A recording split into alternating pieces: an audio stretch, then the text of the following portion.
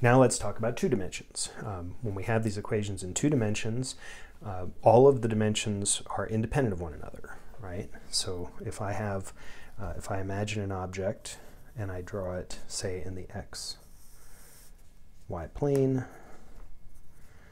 and it has a position vector like that, call it, um, call that uh, r1, and it has another position vector like that, call that R2, and then it's moving between those two, um, then we're going to have a change in position that is going to be equal to the difference between those. But all of these um, accelerations, velocities, and positions operate independently in the different dimensions. So if I know what the equation is going to be for the x direction and I know the acceleration in the x direction, then I can write down the same equation for y and for z.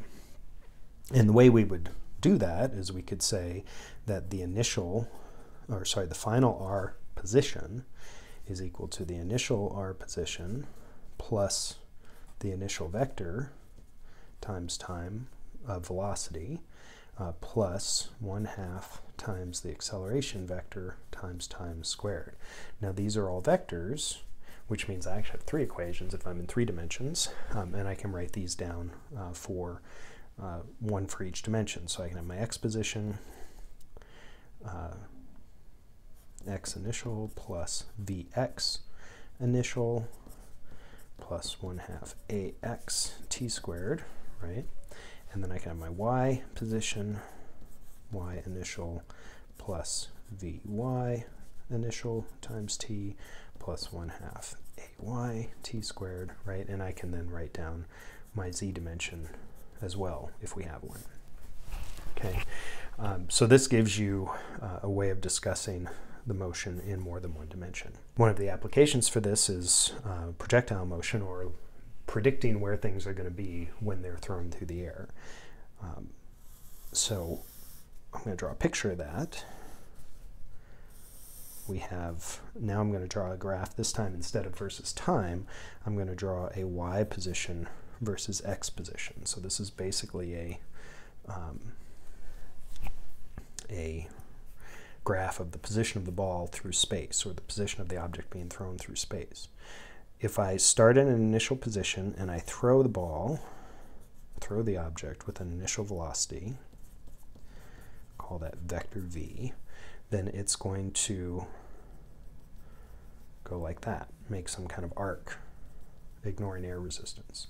Now in this case, um, with this particular projectile motion, um, we have our acceleration in the y dimension is just equal to minus g, like we had before, and our acceleration in the x direction is equal to zero, because we have no wind resistance, we have no other accelerations acting. So that means I can take these two equations and write them down in the special case of projectile motion. So I can take um, the uh, x final is going to be equal to my x initial plus vx initial t. Uh, and then there's no acceleration, so that one's done.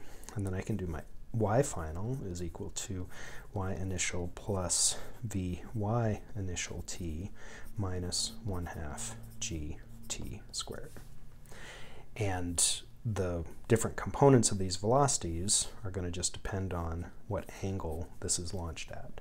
So if I launch this at um, an angle theta, then I can write that my x component initial is just going to be v times cosine of theta, and my y component is going to be v times the sine of theta.